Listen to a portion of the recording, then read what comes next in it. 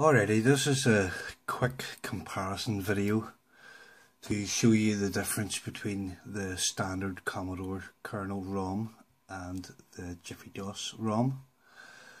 Uh, yeah, uh, if you watched my last video, you would have seen that I installed a Jiffy DOS chip into my Commodore 64 and basically it just acts as a, a fast loader um, you'll have to apologize. I will have to apologize for the flickering screen.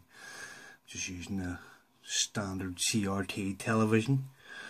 So as you can see here at the top there, we have the standard Commodore Basic uh, loaded here, and this will be uh, loading from my SD to IEC device.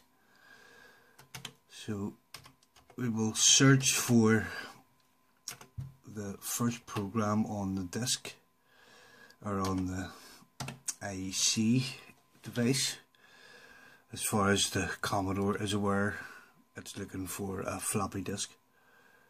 So you'll see it takes about five seconds before it says it's ready.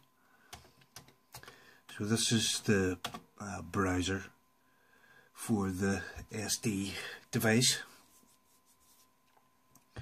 So it takes about 5 seconds to load that up. I've go to games. I'm going to uh, use the same game here. So I'm going to use uh, Cybernoid 2 as an example. So when I hit return here I will start a timer and this is again with the standard Commodore ROM. So hit return now.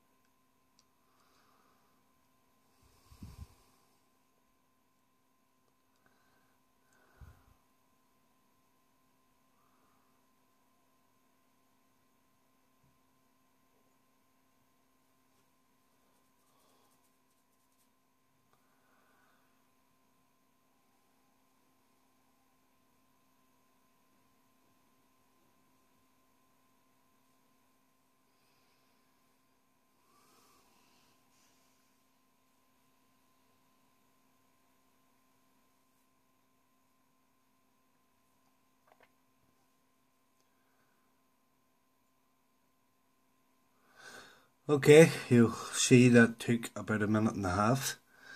Um, from this point on, everything else takes the same speed. It's really just uh, increases the speed loading uh, with the Jiffy DOS. It doesn't uh, speed up the Commodore in any way, it just speeds up the input. Uh, so, um, that's Cybernoid loaded in the memory basically. So we'll just use that uh, first loading screen there as our uh, timer point basically. So it will turn off the computer, flick over the switch to turn on the Jiffy DOS. And you'll see at the top of the screen there it now says Jiffy DOS 6.1. So we'll do the same again. We'll load our browser program from the SD card. And even here you'll see this is uh, pretty much instantaneous here once I hit return. And it's ready okay, already uh, so down to games again. Sort them alphabetically and go to Cybernoid 2 and again I'll start a timer here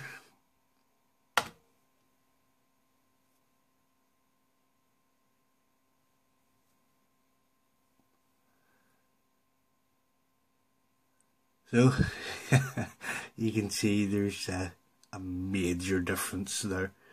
Uh, that took not even 10 seconds to load, probably. Um, yeah, so I'm really, really impressed by the Jiffy DOS chip. I highly recommend it for anyone. Um, some Commodore 64s you will need to unsolder your uh, kernal ROM mine luckily was socketed so it was just a matter of putting the chip out and popping the Jiffy DOS in but some of them are soldered in so obviously it's going to be a lot more work to fit the Jiffy DOS into one of those but that's it guys just a quick comparison there of uh, the standard kernal ROM compared to the new Jiffy DOS and uh, it's like night and day. That's more than 10 times faster. So that's it. Hope you enjoyed watching. Catch you in the next one. Bye for now.